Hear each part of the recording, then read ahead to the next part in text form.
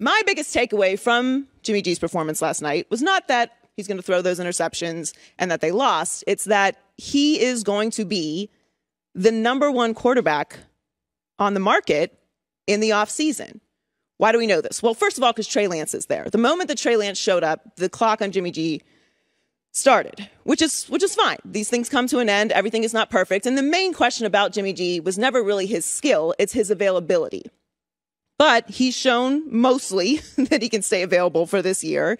And in a game last night, like last night, despite that stat line and those two interceptions, which were admittedly bad, he's still going to be the number one guy for a quarterback market that is going to be very, very scarce. Now, I know you're thinking Deshaun Watson, but to me, because of his very obvious legal situation, you have to consider that when you're talking about Deshaun Watson in the market next year. So you can't just say, oh, Deshaun Watson and he's more talented. Well, yes, we know that, obviously but he'd be on a team already. He would already have been traded if he wasn't dealing with everything that he's dealing with. Also worth mentioning when you mentioned Deshaun Watson is that he has a no trade clause. So he's not just going to end up wherever. You have to consider that he's going to have to prove wherever he goes, regardless of his legal situation. So because of all that, Jimmy G's the guy. We know what Jimmy G is capable of. We've seen it. We've seen him in a Super Bowl. Has he fallen short? Yes. Did he fall short last night? Yes. If we go game by game, Tom Brady's one of the worst quarterbacks that ever played. So we know that that's not how we're going to evaluate it. The Trey Lance thing is what's moving Jimmy Garoppolo out of San Francisco. I don't know that everyone in San Francisco even wants to move off of Jimmy Garoppolo, but when you give up a 12th pick, a first round pick in 2022 and 2023, and a compensatory pick for Trey Lance, it's bye bye. It's the end of the era for Jimmy G with the 49ers. But where could he end up? So if you look at the other guys that are on the market besides Jimmy G and Deshaun Watson, who obviously we know is more talented but has a significant issue to deal with, you're looking at guys like Mitch Trubisky, possibly Teddy Bridgewater, Jameis Winston, Gardner Minshew, Ryan Fitzpatrick, Cam Newton, Andy Dalton. None of those names are probably moving you. If I'm giving you that list and Jimmy G, removing Deshaun Watson from the situation because of the legal circumstances, which we don't know how are going to play out, he is by far the number one guy, head and shoulders above that group. So now you look at the teams that are in need, or we, we are imagining are going to be in need of a quarterback in next, next year going into the offseason. So the Steelers could possibly take someone in the draft. We're all retiring Ben Roethlisberger, and I know he hasn't officially retired yet, but look, we're all watching the same football season here. So let's assume that this is Ben's last stand. So the Steelers, the Eagles haven't completely committed to Jalen Hurts yet. We don't know what the Broncos situation is. Giants obviously need a quarterback. Panthers obviously need a quarterback. The Texans will need a quarterback. Washington football team, depending on how the rest of the season plays out, but I believe they'll be in the market, and uh, clearly the Saints. So you're looking at a very healthy group, and there could be more, obviously, but these are the ones that we know are going to be in the market. So this is a very healthy group of teams, and not all of them are in rebuilds. So it is a very significant offseason for the quarterback position, and it's not a deep draft. We're not even talking about the quarterbacks in the draft. Kenny Pruitt is the only one that's even being mentioned. And the Steelers know more about him than any other team in the league because they share a facility in Pittsburgh, the University of Pittsburgh. So I think that Jimmy G is going to have plenty of suitors. I think San Francisco is going to be able to get a lot for him. And I think he's going to have a lot of success. Personally, if I'm looking at that group, I'd love to see Jimmy G with the Giants. I think that they need and won't be able to get something in the draft. They need someone that will come in and, and make significant changes and elevate. I would like to see him with the Giants. If it's not with the Giants, I think he would do well with the Broncos as well. But look, there's other guys who are floating out there. Aaron Rodgers, who we'll talk about in a minute, Russell Wilson. There could be some other guys that come on the market. But right now, looking at the landscape of things, despite what happened last night, I'm watching that game, seeing him make these throws. Yes, they didn't come up with the win, but he is a winning quarterback. The only active quarterback with higher winning percentage than Jimmy G, actually, since he's come to the Niners, is Mahomes and Brady. They're pretty good, those two. He had a five and six winning streak going going into one five of his last six going into last night. So I, I like Jimmy G. I don't like his availability, but if I'm one of those teams and I'm in desperate need of a quarterback, which a lot of those teams will be, Jimmy G is a great option. And by the way, best of luck to the Niners because I like Trey Lance.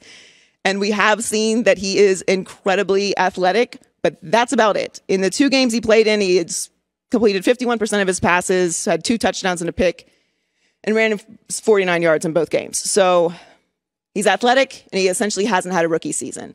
The Niners are in a division with Kyler Murray, Matthew Stafford, and at the moment, Russell Wilson. So it could be a couple rough years ahead, depending on how things go with Trey Lance. I'm optimistic about him, but the grass isn't always greener. I know people are hard on Jimmy G. I don't love his availability, but if I'm one of those teams, I'm definitely willing to give up some pieces to get a quarterback with the talent level that Jimmy G has. So there's another big game this weekend, lots of big games this weekend, but a game that I want to talk about is the Packers and the Browns. The Packers are currently seven and a half point favorites over the Browns, which feels about right. And the Packers will probably win this. They're great at home. They're 6 and 0 at home this year. They're at the top of the NFC, NFC. They're at the top of the league. Aaron Rodgers is at the top of the MVP race again. And the Browns are coming off of a disastrous week with COVID. I hated the Jordan Love pick. Hated it. Hated it from the very beginning. I thought it was a disaster of a move by the Green Bay front office. Mo- mostly because you didn't need that position, obviously. But more than that, I hated how they handled it with Aaron Rodgers. I think that stars deserve a certain level of respect when it comes to this type of move. If you're going to trade up, and I know they only gave up a fourth round pick to move up, but if you're going to trade up to take the replacement of Aaron Rodgers, you owe him a DM. You owe him a text. You owe him a phone call. You owe him that conversation. And that's kind of what spiraled this whole beef between the front office and Aaron Rodgers, which seems to have been somewhat settled or at least shelved for the moment, and they're having an incredible season. And I don't want to give the Packers front office too much credit for this. I don't want to assume that they did this conspiring to inspire Aaron Rodgers to play better because every time the Jordan Love pick comes up, immediately everyone points to Aaron Rodgers' season before that as if he was some bum or something, which is utterly ridiculous. But since then, he's won a league MVP. NFC Championship game. They're the top of the league right now. They've already clinched, the only team to clinch their division. And he's probably going to win another MVP. He's probably going to be the first player to win back to back MVPs since Peyton Manning in 2008 and 2009. So I don't want to give them the credit that they inspired Aaron Rodgers to get to this point, but he has shown that he does like a little bit of angst around him. He likes a little bit of drama. And it's probably because he's so good at football that it's almost easy for him. So having a little bit of inspiration, Jordan would do this. We've seen guys kind of make up these storylines and bulletin board material for extra motivation. I don't think it makes you a better player. But over time, a little bit of juice, you know, a little bit of doubt does motivate. The Patriots do it every year. New England versus everybody or whatever that nonsense is. Like they're not favored every single year. I digress. The point is, Aaron Rodgers has rolled through the NFL since that moment. And it's either going to end up being one of the best decisions that they've made because it completely inspired Aaron Rodgers to go on this journey that he's been on over the past two years, or it'll end up being I don't want to say the worst because if they end up winning a Super Bowl, I guess it was still and he leaves. Guess it was still worth it.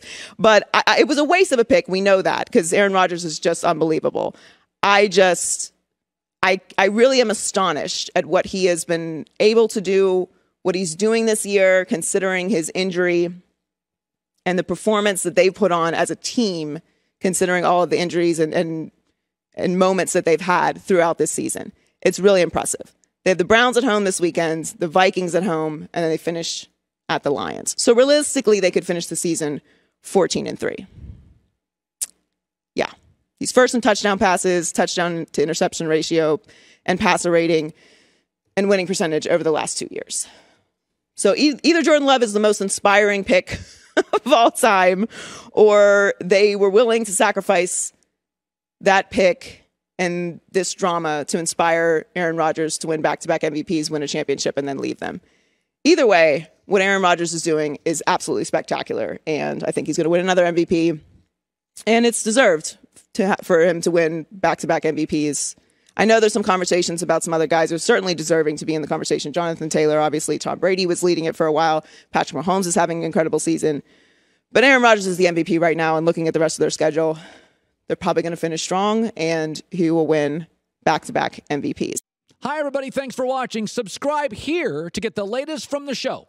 Also, be sure to check out more of the best clips from The Herd or go watch a few segments from other shows on FS1.